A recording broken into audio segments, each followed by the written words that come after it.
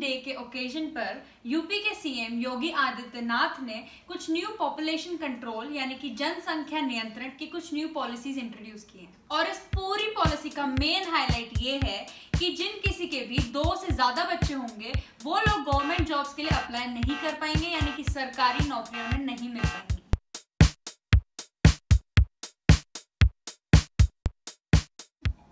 11th of July world population day के occasion पर योगी आदित्यनाथ जी की गवर्नमेंट ने एक नई पॉपुलेशन कंट्रोल पॉलिसी अनाउंस की। और इस चीज़ पर नेशनलिस्ट कांग्रेस पार्टी के चीफ शरद पवार ने भी ये कहा है कि यूपी की बढ़ती हुई पॉपुलेशन को कंट्रोल करना आज की डेट में सबसे ज़्यादा इम्पोर्टेंट काम है। और हमेशा की तरह काफ़ी लोग इस पॉलिसी के आ जाने से खुश हैं और काफ़ी लोग नाखुश। पर ये एक्चुअली पॉपुलेशन ड्राफ्ट बिल है क्या? ये bill basically two child policy को एम करता है। यानी कि जिनके भी दो से ज़्यादा बच्चे होंगे, वो लोगों को तीन चीज़ें मेनली फेस करनी पड़ेगी। नंबर वन उसे लोकल बॉडीज के चुनाव में खड़े होने नहीं मिलेगा। नंबर टू उसे गवर्नमेंट जॉब्स के लिए अप्लाई करने को नहीं मिलेगा। और नंबर थ्री उसे किसी भी तरह की सब्सिडरी नहीं मिलेगी। तो बेसिकली ये पॉलिसी उन लोगों पर लागू होगी जो कपल्स अब थर्ड चाइल्ड करने का प्लान कर रहे हैं। पर जो ऑलरेडी कर चुके हैं या जिनकी फैमिली ऑलरेडी सेटल्ड है उन पे ये पॉलिसी बिल्कुल भी लागू नहीं हो। पर क्वेश्चन ये है कि ये ज़रूरी क्यों था? एक्चुअली लॉ पैनल के हिसाब से ये स्टेप इसीलिए नेसेसरी है क्योंकि सबसे पहला सस्टेनेबल डेवलपमेंट के लिए अगर आज की डेट में कुछ चीज़ सबसे ज़्यादा इफ़ेक्टिव हो सकती है तो वो पॉपुलेशन कंट्रोल है। नंबर टू कम बच्चे यानी कि क्वालिटी हेल्थ सर्विस अफोर्ड करना बहुत ईजी हो जाएगा। क्योंकि इंडिया में रिच लोगों से ज़्यादा लोअर मिडिल क्लास और पुअर पॉपुलेशन ज़्यादा है। और कहीं ना कहीं लोअर मिडिल क्लास और पुअर पीपल या population quality health service afford नहीं कर पाते। नंबर थ्री अगर ये पॉलिसी प्रॉपरली इम्प्लीमेंट की जाती है तो पाँच साल के उम्र से छोटे बच्चों की डेथ रेट ऑटोमेटिकली कम की जा सकती है।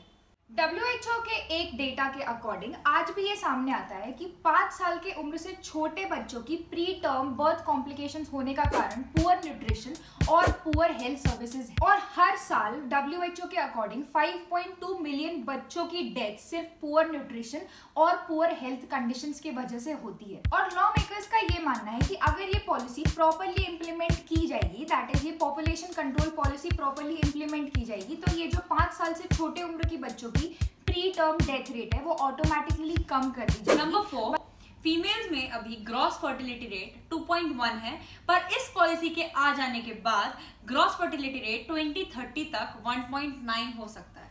And last but not the least number five obviously इस पॉलिसी के आ जाने से पॉपुलेशन काफ़ी स्टेबलाइज हो जाएगी। मूविंग ऑन टू दिस जो भी पब्लिक सर्विस इस पॉलिसी को एक्सेप्ट करेंगे या फिर अडॉप्ट करेंगे तो उनके लिए सरकार ने काफ़ी सारे इंसेंटिव भी प्रोवाइड करे जैसे कि नंबर वन उनके पूरे सर्विस टर्म में से उन्हें दो एडिशनल इंक्रीमेंट दिए जाएँगे।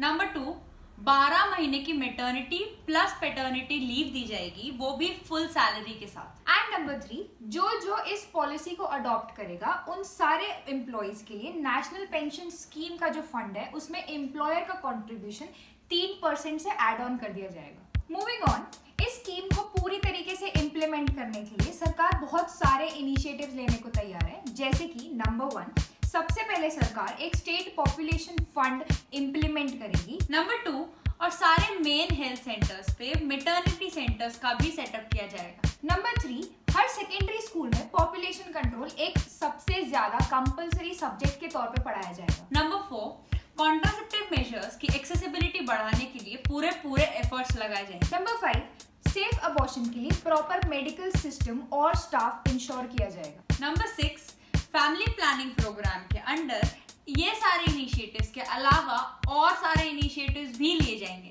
हमारे हिसाब से कहीं ना कहीं ये पॉलिसी का इम्प्लीमेंट होना बहुत ज़्यादा ज़रूरी है क्योंकि कंट्री की डेवलपमेंट स्टेक पे है। और अगर हम एज एन इंडिविजुअल इस चीज़ को सुधारने के लिए एक स्टेप ले सकते हैं तो why not because charity always begins at home Anyways, we were Ridya Singh and Khushi Singh from Insight. If you liked the video, do not forget to like, share and subscribe to our channel. Also press the bell icon. We will be back with some interesting and insightful videos next week or probably tomorrow. Until then, stay tuned and stay safe.